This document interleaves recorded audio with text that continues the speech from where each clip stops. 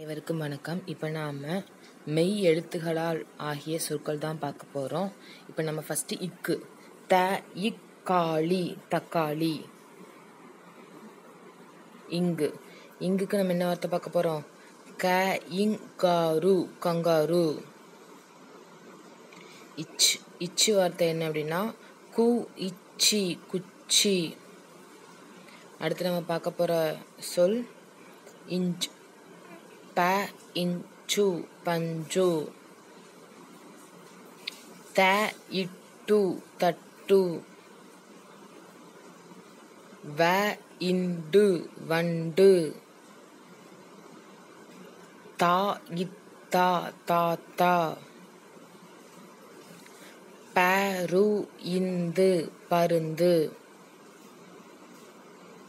பா இப்பா பாப்பா து இம்பி தும்பி. மீல கா இ மிளகாய்.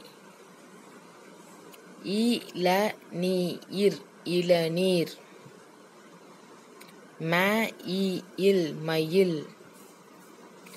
சே இவ் வாழை செவ்வாழை.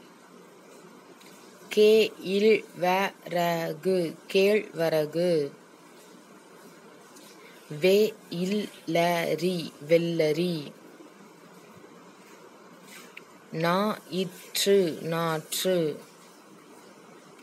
ப இன்றி பன்றி. இப்போ நம்ம பார்த்த இந்த சொற்கள் தான் மெய்யெழுத்துக்களால் ஆகிய சொற்கள். இதை நீங்கள் ஒரு நோட்டில் வரிசையை எழுதி வச்சுட்டு அந்த குறிப்பிட்ட மெய்யெழுத்தை மட்டும் சர்க்கிள் பண்ணி காமிச்சிங்க அப்படின்னா குழந்தைங்களுக்கு ரொம்ப ஈஸியாக புரியும். இந்த தகவல் உங்களுக்கு பயனுள்ளதாக இருக்கும்னு நம்புகிறேன் நன்றி வணக்கம்.